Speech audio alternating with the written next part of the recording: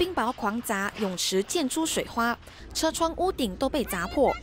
西班牙加泰隆尼亚降下比鸡蛋还大的冰雹，直径高达十公分，创下二十年来最大冰雹纪录。No es normal, señores. Esto es. Dios viene pronto. Arrepiéntete porque Dios te ama. 暴风雨和冰雹来得太突然有人甚至直接钻进车底避难。大量建筑和公共设施损坏累计造成五十人轻重伤更有一名一岁女童丧命。除了冰雹极端干旱同时肆虐西班牙东部这也意外让一座十一世纪的教堂遗址重见天日。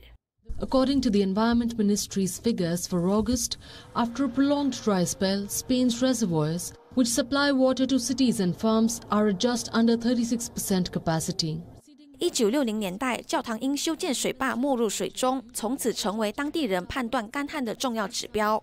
如今，千年古迹浮出水面，游客甚至能乘坐独木舟划过教堂的拱门。